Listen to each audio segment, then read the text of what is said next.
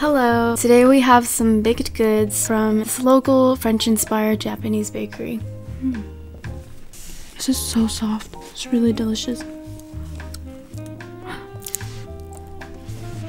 Mmm, delicioso. Wow.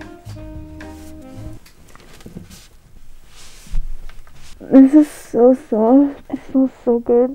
Oh. Thank you for joining me in trying Belle's Bread.